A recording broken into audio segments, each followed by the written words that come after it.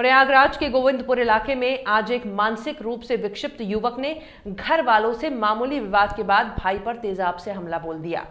तेजाब से हमलावर युवक का भाई झुलस गया। आसपास के लोग छुड़ाने पहुँचे तो युवक ने उन पर भी तेजाब फैलाना शुरू कर दिया, जिससे करीब पाँच लोग झुलस गए।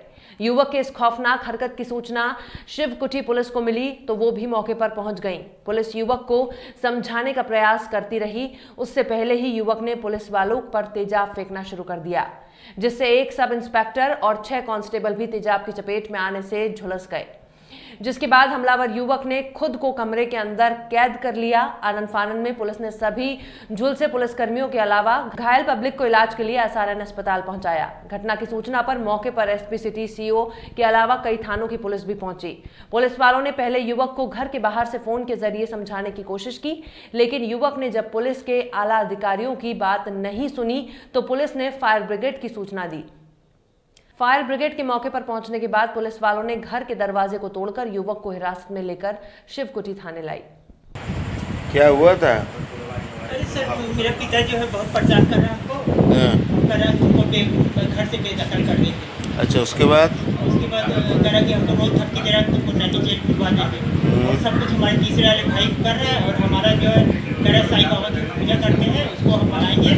तुम पागल हो जाओगे और अपनी बीवी को यहाँ से भगा दोगे तुम अकेले पड़ जाओगे तुमको साले लोग की मदद नहीं करेंगे तुमको बिल्कुल मरवा देते आज क्या क्या तुम? आज के तुम क्या कर दिए? हाँ सर आपको हमने अभी एक लड़का को पकड़वाया था जिला का था। वो हमारा भाई से सुपारी मांग रहा था कह रहा था पचास हज़ार दे दो हमको हम हमको मरवा मार देते तो उस उस लड़के की बात हम सुन लिए तो हमने डीआईजी साहब को फ़ोन किया। तो डीआईजी साहब का अच्छा ठीक है सौ नंबर तुम डायल करो हमने सौ नंबर कोई उठा नहीं रहा है। तो कहे अच्छा ठीक है फ़ोन करते हैं तो यहाँ थाने में फ़ोन किए तो यहाँ से पुलिस गई। हमको भी पकड़ के ले गए इसको भी पकड़ के ले गए। उसी से हमको चार डंडा चौकी पे भाई जो है था वो हमसे मरवाए चार डंडा उससे मरवाए गुजरी से जो हमारी सुपारी ले रहा था। और चार डंडा हमको पुलिस वाला मारा। फिर उसके बाद जो है थापड़ छापड़े थापड़ मारा। तो हमने कहा आज दरवाज़ा नहीं खोलेंगे हम चाहे जो हो जाए क्योंकि हम पुलिस के हाथ में अब दोबारा नहीं पड़ेंगे। तेजाब कौन फेंका था? हमने फेंका था लेकिन पुलिस के ऊपर भी? भाई पुलिस वाले मेरे दरवाजे तोड़ रहे थे। मैंने जब दरवाजे तोड़ दिए हम कहे अंदर आ जाएँगे तो क्या करें? हम अपनी सेफ्टी के लिए ना हमारे पास अगर कट्टा हो तो हम कट्टा मार देते मार देते हम पक्का। ये क्या पूरी घटना है? देखिए ये एक राजीव सिन्हा नाम का लड़का है और ये यहाँ गोविंदपुर में रहता है। इस, ये इसका अपने कुछ पिता से और इसके भाइयों से कोई इसको विवाद था लेकिन ये मेंटली पूरी तरह से अपसेट हो चुका था। और आज इसने पहले तो चौराहे पर लगभग आठ, साढ़े आठ बजे के आसपास लोगों को ज़बरदस्ती मारपीट करने लगा और मारपीट करने के बाद जब लोगों ने इसे दौड़ाए थे, अपने कमरे में घुस गया। पुलिस मौके पर आई और जब पुलिस वालों ने उसका दरवाज़ा तोड़ा तो इसे नीचे से पहले से ही अरेंज करके रखा था एसिड रखा था। वो लगता है कि बाथरूम में धुलने वाला तेजाब रहा होगा या अन्य इसे पहले से व्यवस्था करके रखा था। उसने मग्गे से नीचे से फेंका था, जिसमें हमारे कुछ पुलिस वाले, सब इंस्पेक्टर्स और कुछ पब्लिक वाले लोग भी घायल हुए। इसके बाद इसने अपने आप को अंदर से बंद कर रखा था। हम लोगों ने बार बार फ़ोन करके इसको बहुत काउंसलिंग करी, लेकिन ये आने के लिए तैयार नहीं था। इसके बाद दरवाज़ा तोड़ करके और बहुत ही हिम्मत से इसे सुरक्षित निकाला गया है।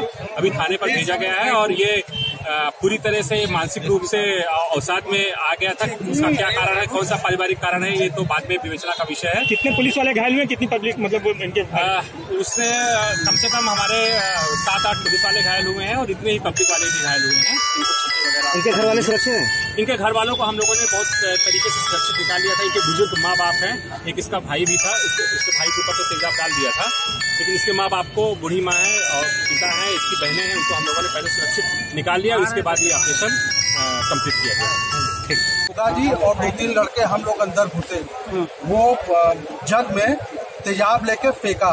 सामने दरोगा जी थे और एक लड़का था। दोनों जन के चेहरे पे पड़ा हम हमारे शर्ट पे पड़ा जाके चेंज वगैरह करके आए फिर दोबारा इसने अटैक किया है। ये तीन चार घंटे हो गए जानबूझ कर रहा है। ये क्यों कर रहा है? सर ये मेंटली डिस्टर्ब है।